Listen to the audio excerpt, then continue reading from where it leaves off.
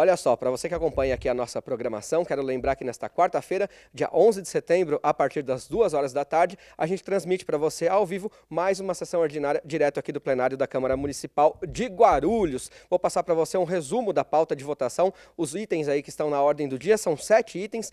Um já está apto aí para ser votado e discutido em segundo turno. Discutido e votado, aliás, em segundo turno. Se ele for aprovado, ele já vai diretamente aí para a sanção ao veto do prefeito. É um projeto muito legal que beneficia as mamães aqui de Guarulhos ele permite à gestante optar pelo parto cesárea a partir da 39ª semana de gestação, mesmo quando ela já tenha optado pelo parto normal. Isso acontece porque assim como há bebês que nascem prematuramente, há bebês que demoram um pouquinho mais. Então, de repente, aí se está trazendo algum incômodo para a mamãe, ela pode optar pelo parto cesárea, mesmo que anteriormente ela tenha escolhido aí o parto normal da rede pública aqui, principalmente de Guarulhos. Tem outros quatro projetos aí para serem discutidos e votados em primeiro turno.